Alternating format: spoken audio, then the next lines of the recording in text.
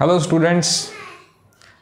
I welcome you all in Base Campus uh, Class 12 Physics Maharashtra state board series आज हम पढ़ेंगे parallel axis theorem जो कि एक बहुत फेवरेट टॉपिक रहा है अब तक का लेकिन न्यू सिलेबस में अभी वो फेवरेट हो भी सकता है नहीं भी हो सकता है लेकिन हमको पढ़ना ज़रूरी है। सो पैरल एक्सिस थ्योरम को स्टार्ट करते हैं।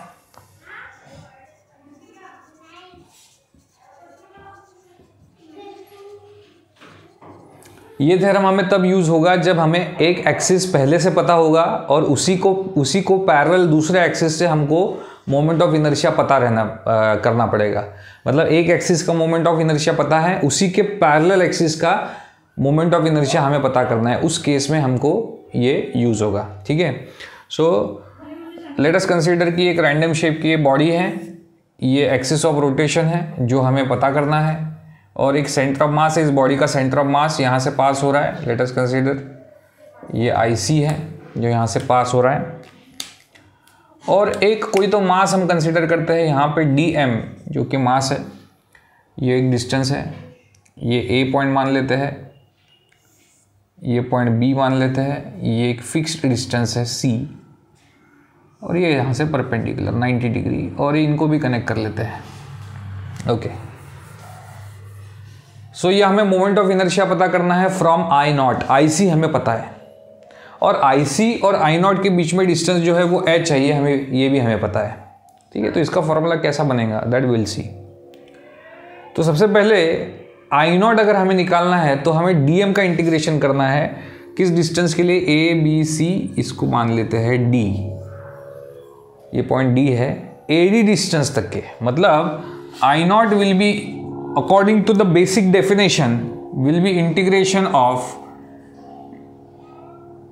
dm into ad square. अगर हम ध्यान देंगे AD के बारे में तो AD is the hypotenuse in this triangle A C D so I naught will be equals to integration of D M into A D की जगह हम लिख सकते हैं A C square plus D C square according to Pythagoras theorem. Now here AC is again AB plus BC. So I naught को हम और एक तरीके से लिख सकते हैं ए बी ए सी को लिख रहे हैं A B plus B C का whole square plus D C का स्क्वायर इंटू डी एम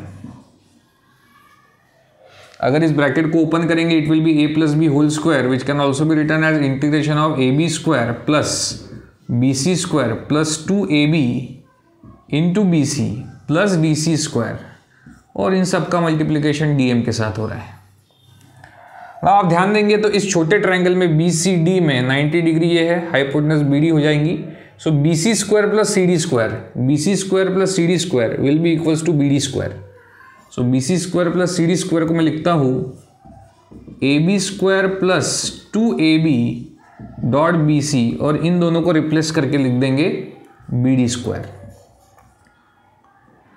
और ये मल्टीप्लाई हो रहा है डी एम के साथ विच इज़ द मास छोटा मास जो हमने कंसिडर किया हुआ है फॉर कैलकुलेशन पर्पस नाउ इस ब्रैकेट को जब हम ओपन कर रहे हैं तो ये बन रहा है A B square into D M plus two integration of A B B C into D M plus integration of bd square into dm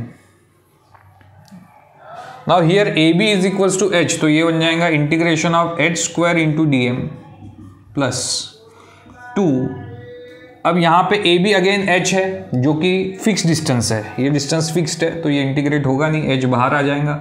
Integration of B C into D M plus integration of B D square into D M अब ये बात ध्यान रखनी है कि B C into D M ये B C जो distance है, ये फिक्स डिस्टेंस है।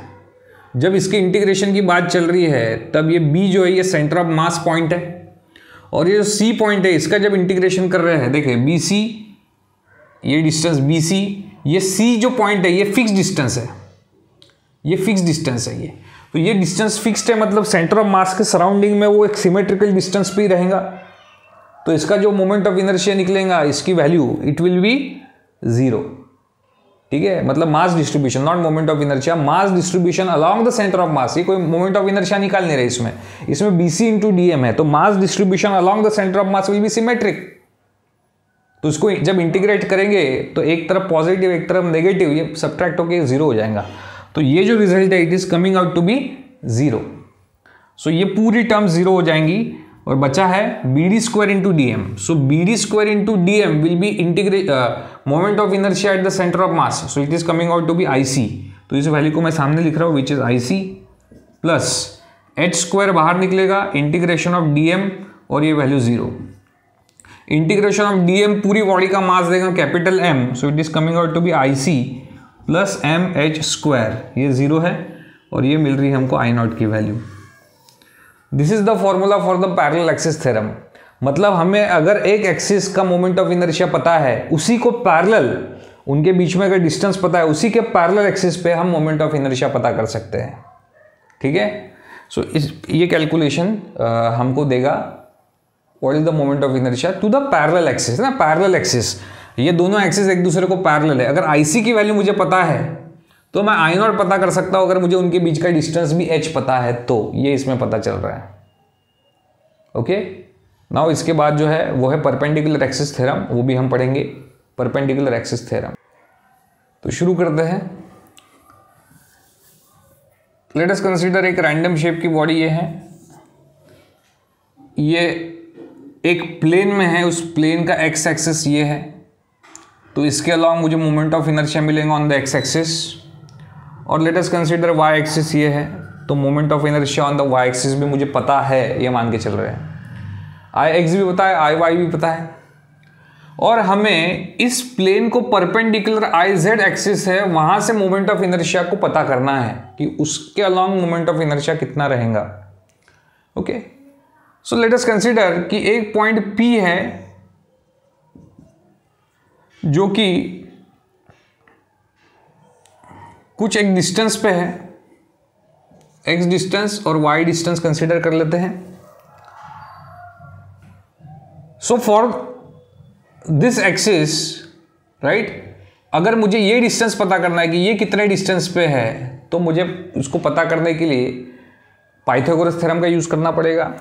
बिकॉज़ ये अगर x है तो ये भी x रहेगा और ये परपेंडिकुलर है तो ये डिस्टेंस मुझे मिलेगा under root of X square plus Y square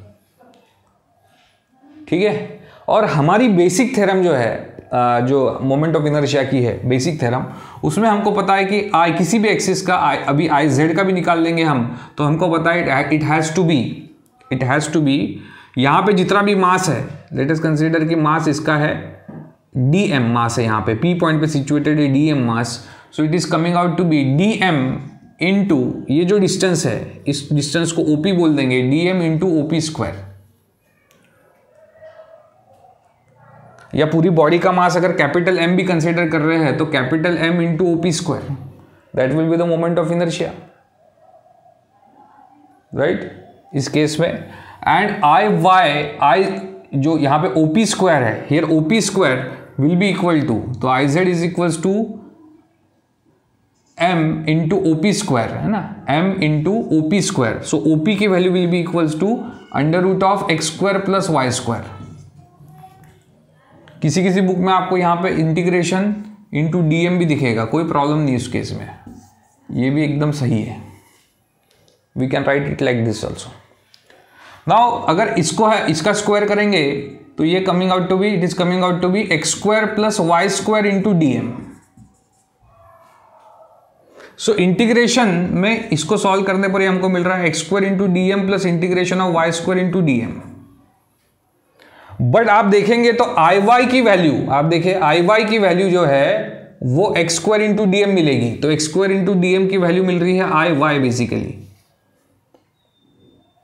और वाई स्क्वायर इंटू डीएम की वैल्यू आप देखिए आई एक्स की वैल्यू वाई डिस्टेंस पे है, ये point P so I X की value will be equal to Y square into DM so it is coming out to be I Y क्या मतलब इस बात का? अगर टोटल कैलकुलेशन देखेंगे तो आई जेड की वैल्यू मिल रही है i x plus i y this is i x sorry i x plus i y मतलब दो एक्सिस जो है वो हमको पता है तो तीसरा परपेंडिकुलर एक्सिस की हम वैल्यू पता कर पाएँगे। इसी थ्योरम को बोलते हैं परपेंडिकुलर एक्सिस थ्योरम ठीक? सो so, यहाँ पे हमने आज कंप्लीट किया perpendicular axes and parallel axes theorem आगे के पोर्शन को हम कंप्लीट करेंगे आने वाले लेक्चर्स पे। अगर मेरी कुछ भी हेल्प आपकी पढ़ाई में हो पा रही है या कोई एक ऐसा आप फ्रेंड जानते हैं जिनको अभी क्लासेस करना पॉसिबल नहीं हो पा रहा है बिकॉज़ ऑफ़ एनी रीज़न तो उनको ये वीडियो की लिंक ज़रूर शेयर करिए, उनको हेल्प करिए उनकी पढ़ाई में। एक सोशल कॉज की तरह इसको करिए। और आपने पहली बार मेरा वीडियो देखा है तो चैनल को सब्सक्राइब करिए। शेयर करना है लाइक करना है अच्छा लगे तो लाइक करना है अच्छा ना लगे तो डिसलाइक करना है, जो मैं डिज़र्व करता हूँ मुझे मिलना चाहिए। जो आप डिज़र्व कर रहे हैं, वो मैं आप तक पहुँचाने की कोशिश कर रहा हूँ। और भी कोई डिज़र्विंग है तो उन तक आपको पहुंचाना है।